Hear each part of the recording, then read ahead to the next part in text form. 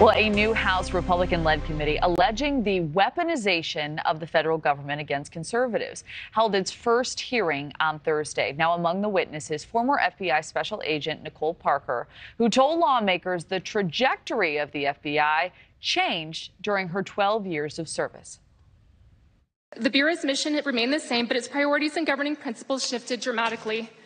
The FBI became politically weaponized, starting from the top in Washington and trickling down to the field offices. Niall Stanage, White House columnist for The Hill, joins us now. So, Niall, the committee's chair, Jim Jordan, laying out why the GOP launched this panel. We have that clip. Americans have concerns about the double standard at the Department of Justice.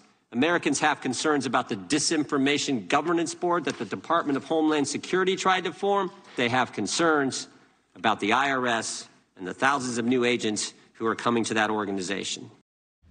So there's been a fierce partisan divide over this. Republicans alleging systematic bias, but Democrats say it's this committee that's been weaponized. So what happened yesterday, Niall? What happened really, Kelly, was each side setting out this position we're used to divides, of course, in American politics. But on this particular topic, there's just this Grand Canyon sized chasm dividing each party. You played the clip there of Congressman Jordan, who leads this subcommittee, talking about all the various elements that he think come together to present a nefarious picture. On the other hand, we had the leading Democrat on the subcommittee, Stacey Plaskett, talk about the idea that this was essentially a way to put forth or promote conspiracy theories and settle scores, as she put it.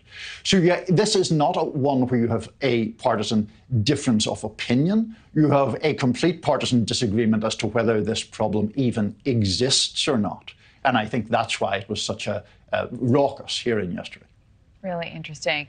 Um, so, was there anything that stood out to you from these witnesses that you feel like is is really important in this conversation? Yeah, I thought the clip that you played from Nicole Parker, who had spent 11 years in the FBI, was telling and probably the best moment for Republicans during the day. Because the witnesses, it had broken into a bit of a game of two halves. There were several political witnesses and then a couple of former FBI agents, including Ms. Parker. And her argument that the trajectory of the FBI had been changed for political reasons was, I think, compelling as was her argument that that had opened up a gulf between headquarters in Washington, which she portrayed as having become politicized, and agents in the field, who she said were still straight down the line and increasingly alienated from that Washington line. Interesting. All right, Niall Stanage, great context as always. Thank you for being here.